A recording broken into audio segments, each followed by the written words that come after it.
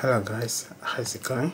Um, so in today's video i'll be showing you how to uh, use spark to read uh, data from hdfs as a data frame.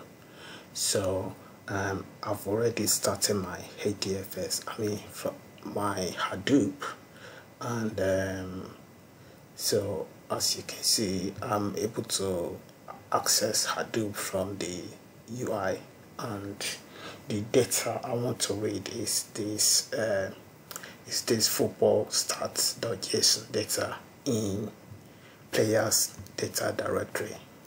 So um, if I go back to the now you will see um, here in, in the Hadoop directory we have uh, players data and inside the players data we have the uh, football start.json file. So that's the file I want to read.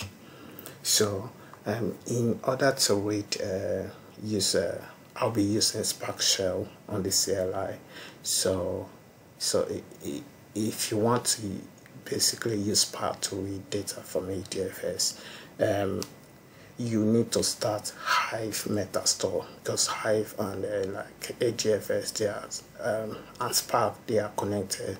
So you have to start Hive first otherwise you'll be getting some error. Um, so if I go back to um, and you need to make sure you install all of them. Um, in my previous video I showed I drop a link um, so that you'll be able to I mean if you haven't installed this software you can use that link to install them. So um, they are let me show you the page. So it's basically a github page from um, I think this it was created by this guy. So I basically forked it.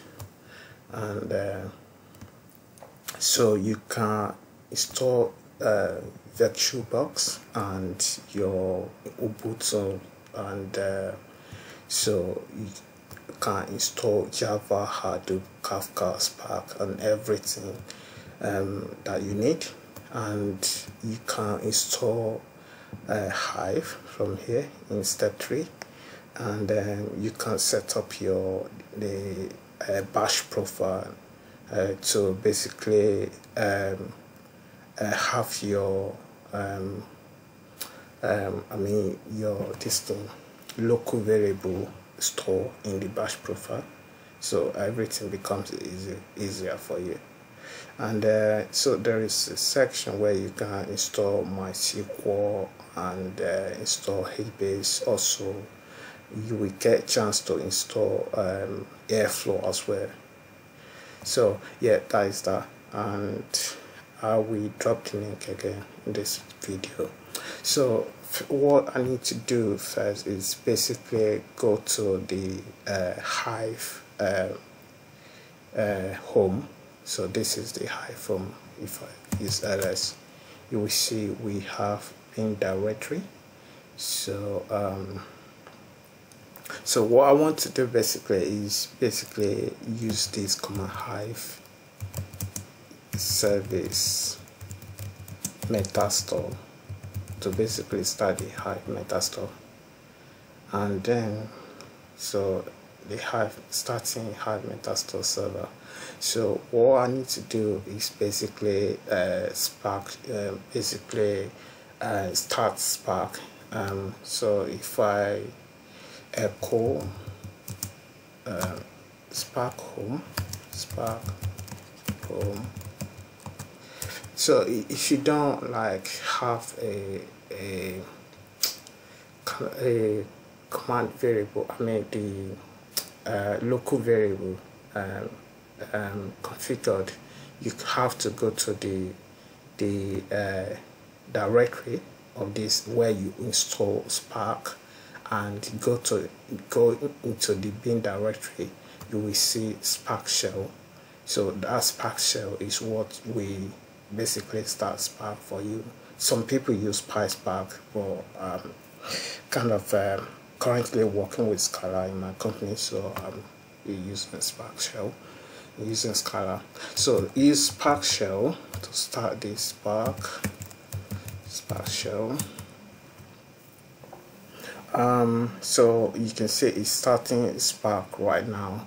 And if you see this you see you can set the log level to error or warning or I think in the current uh, state it's it is set to warning. So so in case you set it to error it will basically um, not log anything on the console after you've got your data frame unless there is an error. So um, you can see we are using uh, a spark context as SC and uh, the master is basically using all the cores in our um, system local system and uh, the spark session is available as spark. So if you're writing code right if you're writing code you have to basically um, if you are writing spark application you have to basically define a spark session as spark so the spark session builder but in the spark shell it's already uh, made available for you as part. So you can just go ahead to use it. You don't need to create uh, like a, a spark session. So um, so what I need to do here is basically um, so what I'll do is basically try to create a data frame. Df via df equal to um, equal to spark dot weight dot formats. The format is going to be json right?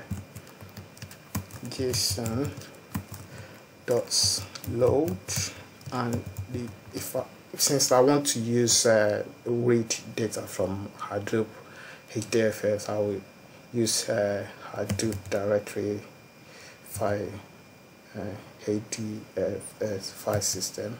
I think that's what it means here uh, and then double forward slash then I will specify my local host. My local host is 9000 and then I will so the directory of the data I want to read is going to be let me check again. So it's going to be this one players data then players start uh, football football start.json it's going to be this and then copy so paste. So players data football start start.json and then um so I think that is it. Um I need to remove this double okay yeah. So if I press enter okay what is that?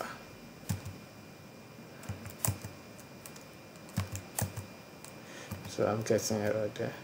Um, so spark the read the format JSON HDFS localhost 9000 players data football start.json hmm. Why am I getting this error uh, spark the read the format JSON um, error identifier expectable. Okay. What's the identifier? Okay let me put a string. A string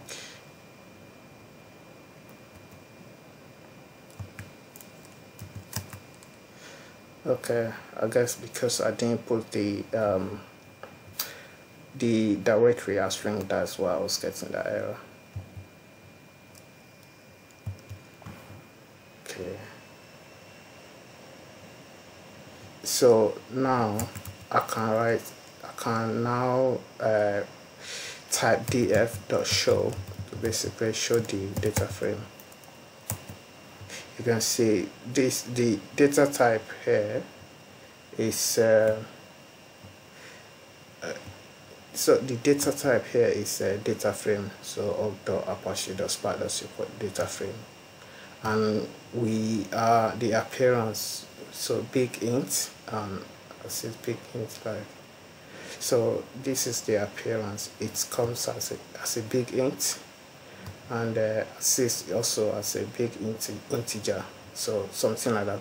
So basically this is the data frame. You have uh, the number of uh, player appearance uh, um, that the players have and the number of assists the first name of the players the number of goals scored um, the player's ID and the last name and the number of minutes played since um, and the players rating the club and so on.